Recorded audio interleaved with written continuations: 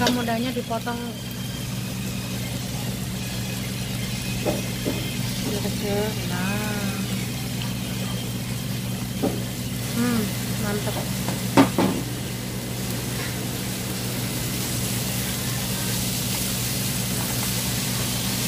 Ini Hongkong rasa kampung halaman ya guys ya. Semua serba ada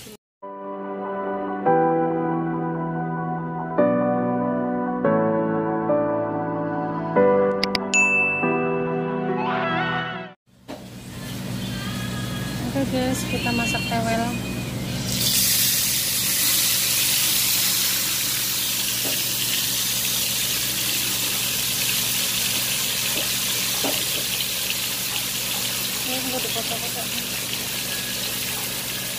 ya gosong loh Hmm,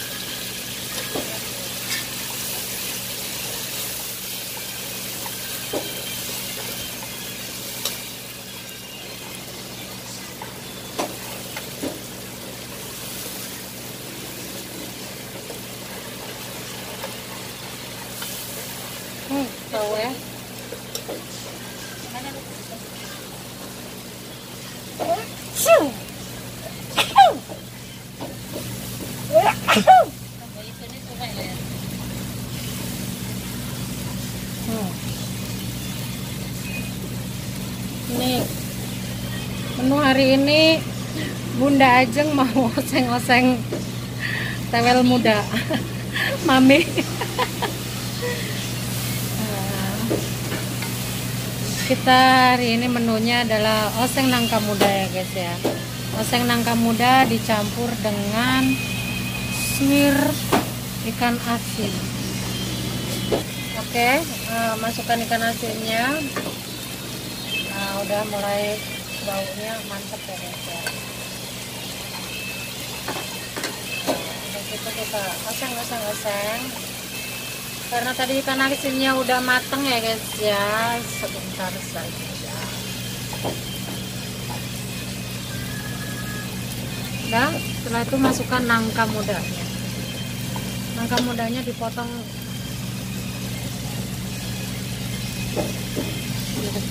nah. Hmm mantap.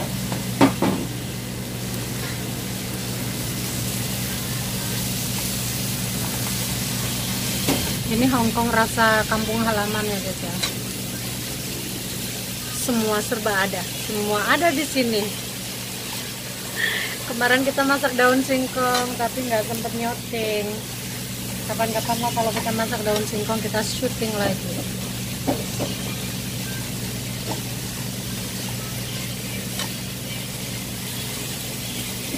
Coba. Tambah terus ya kak, tambah.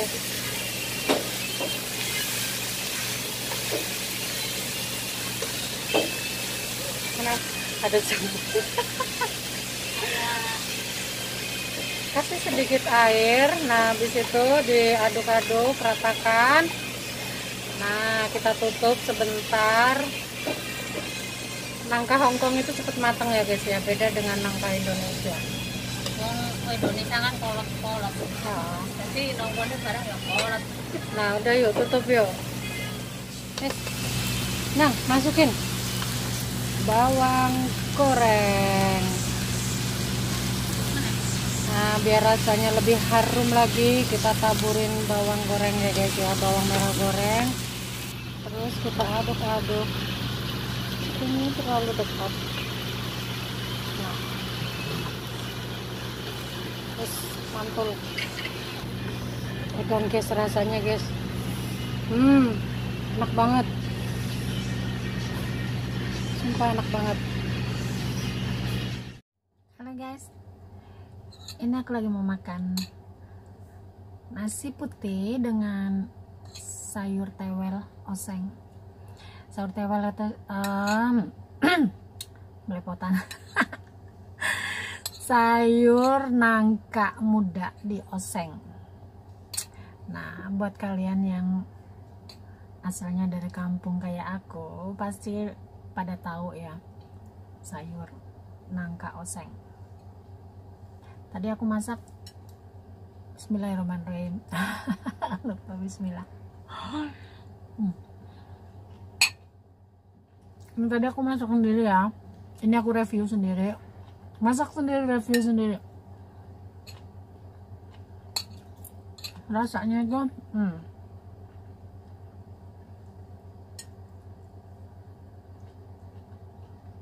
mantap. Pedasnya kerasa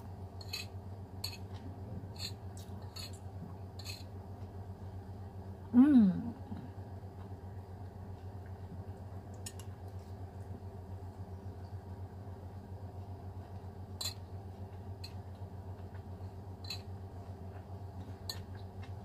ini makan malam ya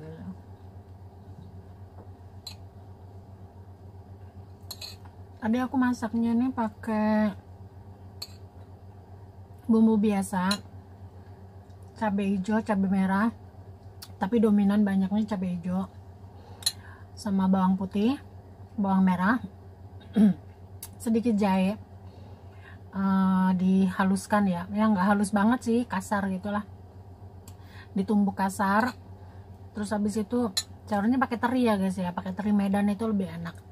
Tapi karena nggak ada aku pakai ikan asin. Kemarin kan habis nyambel ikan asin terus ikan asin masih ada terus aku suwir-suwir kayak gitu.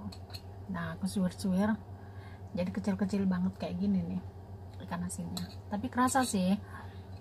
Nah udah di oseng-oseng-oseng biasa aja. Hmm, mateng enak banget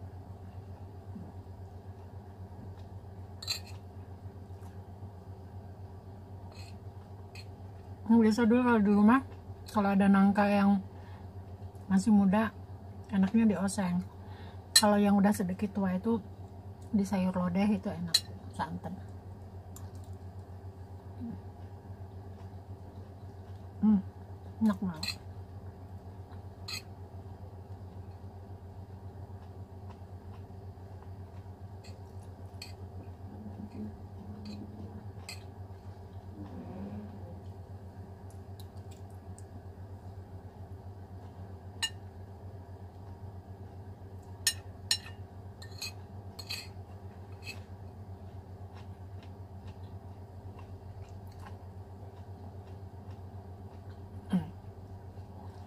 mungkin bagi kalian itu yang berada di kampung itu ya makan oseng-oseng sayur nangka itu udah biasa gitu ya. Tapi kalau bagi kita yang di perantauan makan beginian itu kayaknya udah luar biasa gitu ya guys ya. Nikmat banget spesial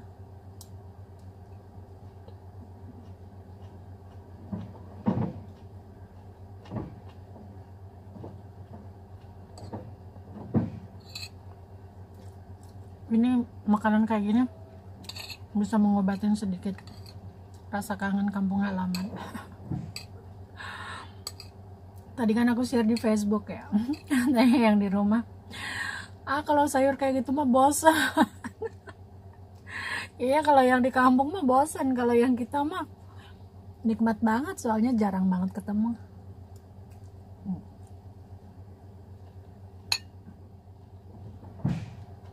lebih enak lagi pakai pete lah. Tapi nggak ada petenya.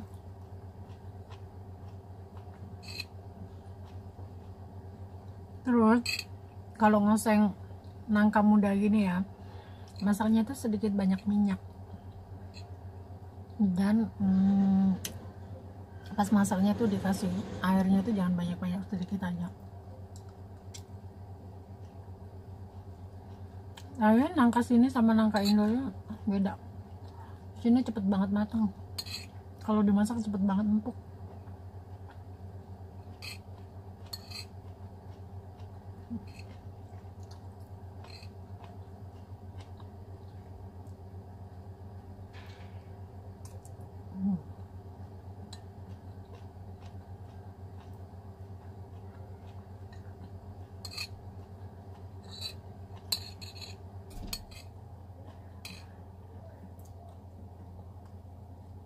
ini ceritanya aku masak sendiri review sendiri masak sendiri ya pasti enak lah ya hmm.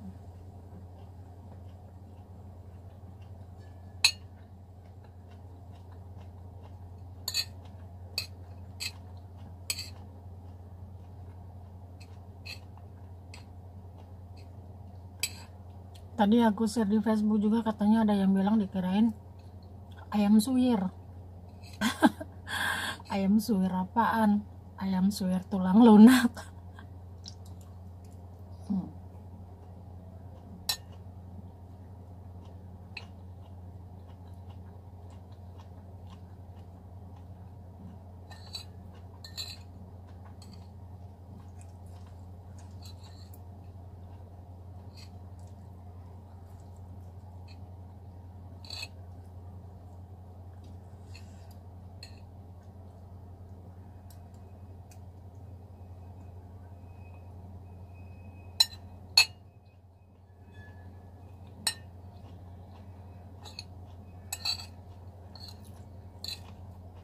Mm-hmm.